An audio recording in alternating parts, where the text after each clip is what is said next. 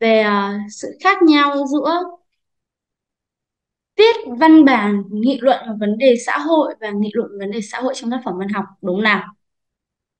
Thứ nhất về phần mở bài ở trong, về một vấn đề xã hội này là gì?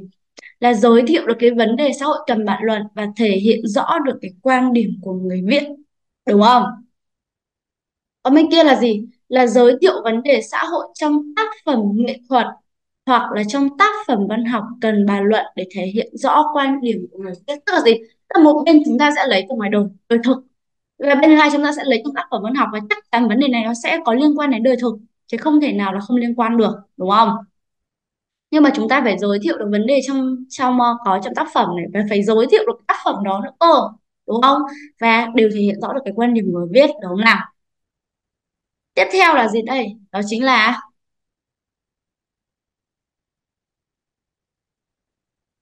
tiếp theo chính là gì? Về thân bài chúng ta sẽ phải giải thích vấn đề xã hội này, trình bày luận điểm lý lẽ bằng chứng để làm sáng tỏ một quan điểm hay là phản biện những cái ý kiến trái chiều, đúng không? Còn bên kia là gì? Là chúng ta sẽ phải giải thích một vấn đề xã hội ở trong tác phẩm nghệ thuật và tác phẩm văn học này, đúng không? Trình bày được những cái luận điểm này, lý lẽ bằng chứng này, lấy từ tác phẩm để làm sáng tỏ quan điểm phản biện ý kiến trái chiều. Tức là gì tức là một bên chúng ta sẽ lấy những cái ví dụ từ ngoài đời thực đúng không? Một bên chúng ta sẽ lấy ví dụ là gì? Bởi vì sao?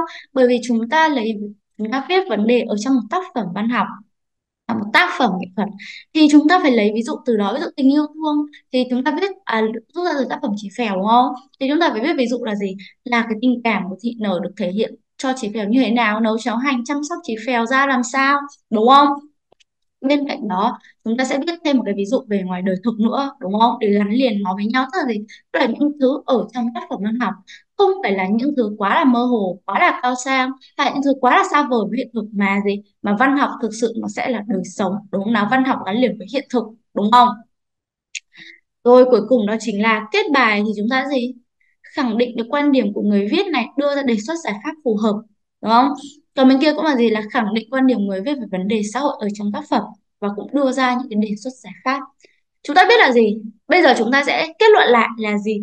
Là việc viết một vấn đề nghị luận về vấn đề xã hội và vấn nghị luận vấn đề xã hội ở trong một tác phẩm văn học hoặc là một tác phẩm nghệ thuật nó gần như là giống nhau đến 80% đúng không? Chỉ khác là gì? Là một cái là của vấn đề xã hội, một cái là vấn đề ở trong tác phẩm. Thì chúng ta sẽ cần phải bám sát vào tác phẩm đúng không? Còn cái bố cục nó sẽ là như nhau, các phần xuất hiện nó sẽ là như nhau. Đúng không nào? cái nha bây giờ chúng mình sẽ so sánh với cái bảng của chúng mình. Coi có thiếu sót ở chỗ nào thì chúng mình có thể bổ sung vào được không? Rồi tiếp theo.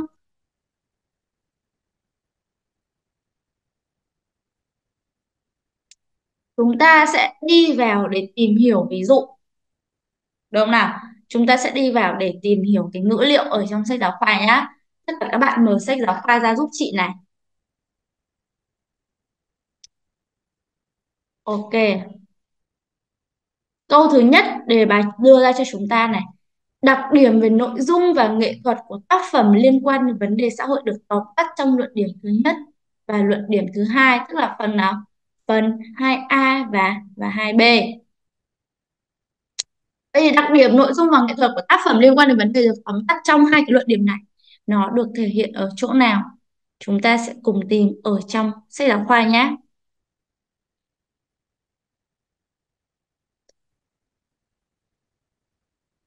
Ok chưa? Đang mở sách giáo khoa.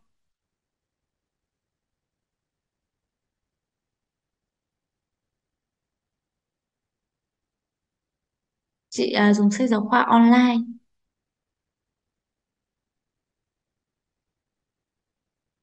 Rồi ok. Vậy thì với câu thứ nhất chúng ta thấy đặc điểm về nội dung là gì? Là đặc điểm về nội dung là chúng ta đang gợi ra được cái bức tranh về đám cưới chuột nó đã gợi ra cho người đọc nhiều những cái thông điệp, những cái tư tưởng, những cái triết lý nhân sinh, đúng không? Thứ hai là về mặt nghệ thuật thì chúng ta thấy là gì? Là về cái ý tưởng nghệ thuật thì tác giả dân gian đã có đã tối đa hóa cái khả năng thể hiện trên bề mặt hạn hẹp của tờ giấy bằng một cái khung cảnh sinh hoạt vô cùng là hoành tráng, đúng không? đó là đám cưới của của con chuột. Và bên cạnh đó thì sao? Thì con mèo sẽ phải à một, một cái nhóm khác sẽ phải đi cống nạp cho con mèo để nó không phải làm sao? Nó không phá cái đám cưới đúng không nào? Đi chúng ta đi trả lời đến câu hỏi thứ hai. Vấn đề xã hội qua tranh đám cưới chuột được hiện lên trong bài viết là vấn đề gì? Và được phân tích trên cái khía cạnh nào? Bây giờ chúng ta sẽ tìm giúp chị.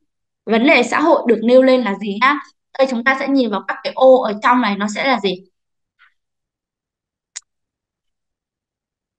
Đây. Ba là nêu luận điểm một, vấn đề xã hội mà người viết quan tâm. Nhìn vào ô, nhìn vào cái số 3 đánh dấu đỏ nhé. Số 5 là luận điểm 2 đúng không?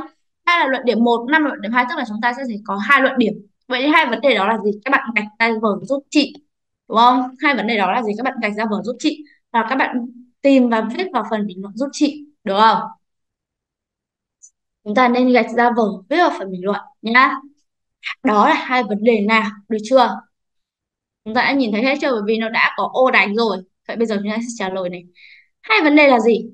Thứ nhất này vấn đề xã hội qua bức tranh đám cưới chuột được nêu lên trong bài viết là các biểu hiện về mặt trái của những cái làng quê xưa, đúng không? Như là cái chuyện gì?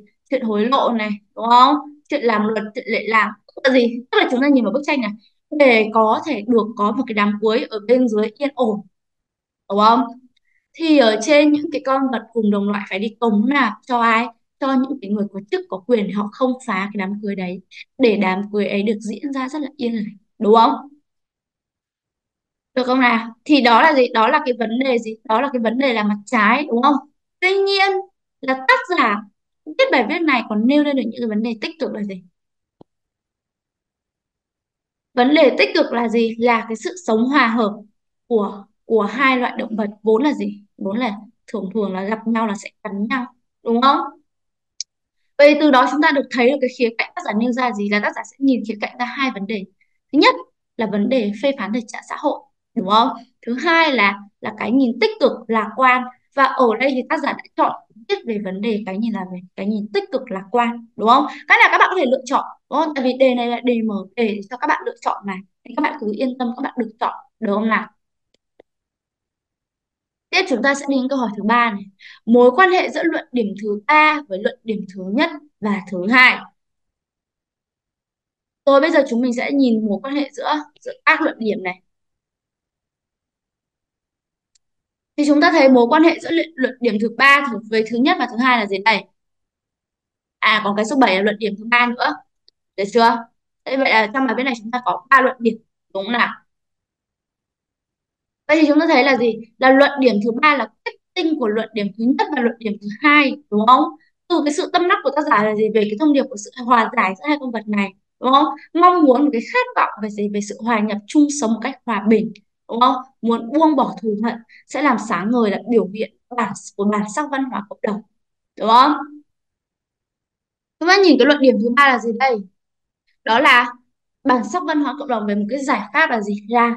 hai con vật này vốn là tương khắc với nhau, đúng không? Nhưng bây giờ chúng đã sống hòa đồng với nhau rồi đúng không nào? Con mèo cũng không còn thấy không còn muốn cắn con chuột nữa, đúng không? Và con chuột cũng sao? Cũng không cũng không nhất thiết là phải trốn chạy con mèo nữa, đúng không? Tức là gì? Tức là tức là họ sẽ sao? Họ sẽ chung sống một cách hòa bình, hòa hợp với nhau, đúng không? Bên cạnh cái bức tranh là con mèo và con chuột thì cái thông điệp sâu xa tác giả muốn hướng đến là gì? Là đó là con người, đúng không nào? Con người tuy là mỗi người, mỗi dân tộc khác nhau đúng không? Nên chúng ta cùng sinh sống trên đất nước Việt Nam, đúng không? Chúng ta chúng ta cùng là người dân Việt Nam thì chúng ta chung sống hòa bình, hòa hợp với nhau, đúng không nào? Đó là cái ý nghĩa sâu xa của một tác phẩm, đúng không? Tiếp, chúng ta sẽ đến với câu thứ tư. Với mỗi một luận điểm, lý lẽ và bằng chứng thì có sự kết hợp như thế nào? Ở đây chúng ta thấy gì? Lý lẽ được nêu trước và bằng chứng được trích ra sau để chứng minh cái lý lẽ đó. Đây chúng ta có thể thấy này lý lẽ và bằng chứng để làm sáng tỏ luận điểm. Chúng ta hãy nhìn vào những ô như vậy. Được chưa? Câu 5 điểm tương đồng về khác biệt về phạm vi đối tượng bằng chứng trong từng kiểu bài nghị luận vấn đề xã hội là gì? Đây chúng ta thấy điểm tương đồng là gì? Đều có đối tượng phạm vi nghị luận là một vấn đề xã hội, đúng không? Nhưng mà khác biệt là gì? Nhưng mà khác biệt là một cái ở ngoài đời sống và một cái ở trong tác phẩm. Ê, cái trong tác phẩm sẽ làm sao sẽ bó hẹp hơn đúng không? Bởi vì trong tác phẩm ví dụ trong trong một câu chuyện này thì nó sẽ ở trong một cái gọi là bối cảnh hoàn cảnh như vậy nhân vật như vậy. Và cái vấn đề đó nó xảy ra đúng không? Thì chắc chắn là giấy chắc chắn là trong tác phẩm của nó sẽ bó hẹp hơn và chúng ta sẽ có thể có khi lại còn là dễ viết hơn đúng không nào? Đây một cái là gì? Một cái là vấn đề trong thực tiễn đời sống một cái là qua tác phẩm đúng không? Một cái là lấy từ việc thực đời thực một cái là gì? Là nhân vật ở trong tác phẩm thì nó đã được bó hẹp lại rồi, đúng không nào? Bây giờ chúng ta sẽ đi đến với ngữ liệu 2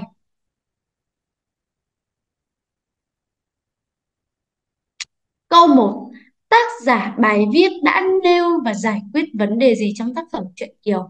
Các bạn, đó là một vấn đề văn học hay là một vấn đề xã hội? Thì chúng ta thấy là gì?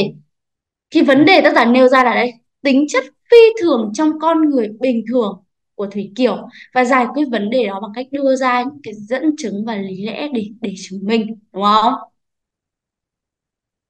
Vậy chúng thấy đây là một vấn đề văn học hay là một vấn đề xã hội? Đó là một vấn đề văn học. Tại vì sao? Tại vì tính chất phi thường trong con người bình thường ở ngoài đời cũng có, nhưng mà để chúng ta biết được thì nó có nhiều hay không, nó không nhiều đúng không? Và thậm chí là cái tính chất phi thường trong con người bình thường, nó làm sao? Nó được ở trong thủy kiểu làm sao? Nó được, gọi là, diễn tả rất là rõ nét, đúng không?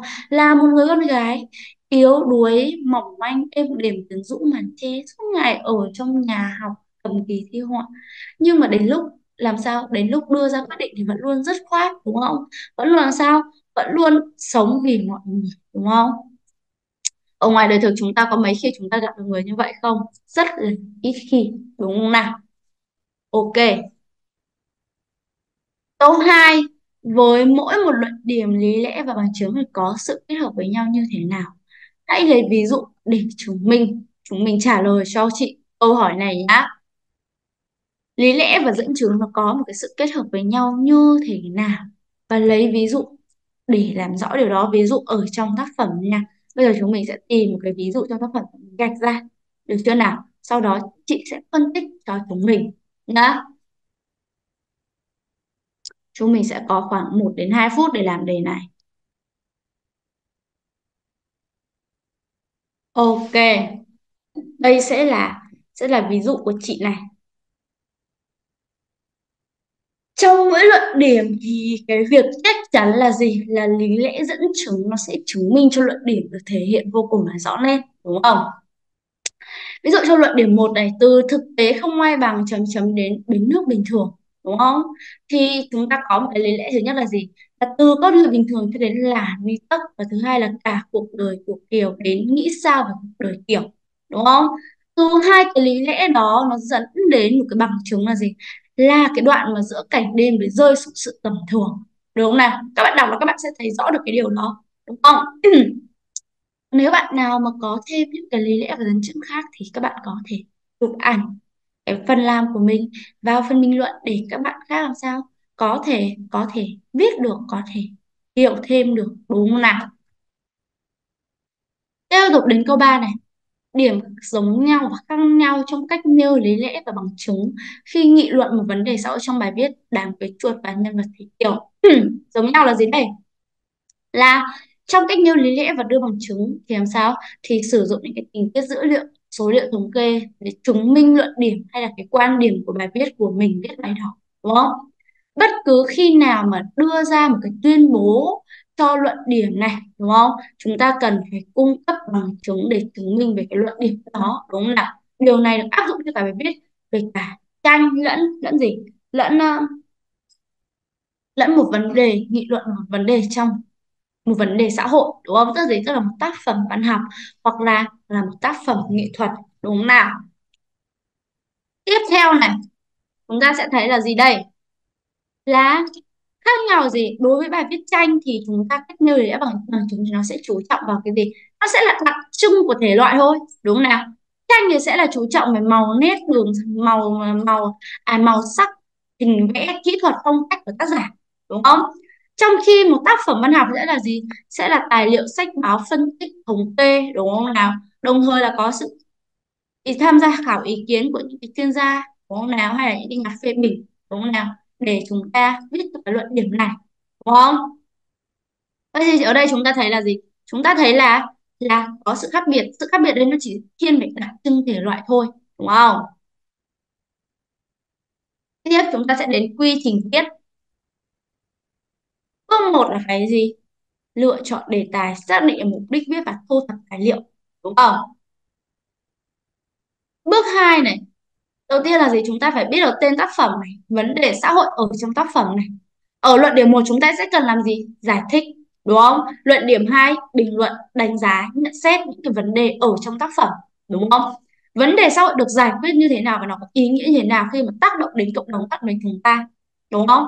Luận điểm 3 là đưa ra những cái phản biện của bản thân, ý kiến trái chiều, đúng không nào? Luận điểm 4 rút ra bài học, giải quyết vấn đề. Luận điểm 5 là kết kết bản đúng không nào? Đây đây chính là một cái dàn ý chung để các bạn có thể viết. Đúng không nào? Mở bài giới thiệu nêu quan điểm. Rồi điểm hai, giải thích bình luận đánh giá nêu ý kiến trái chiều đóng góp cá nhân, khẳng định lại quan điểm rồi bài học rút ra, giải pháp cho vấn đề là phần kết bản được chưa? Bây giờ các bạn có thể ghi nhanh lại phần này hoặc chụp lại màn hình lại phần này.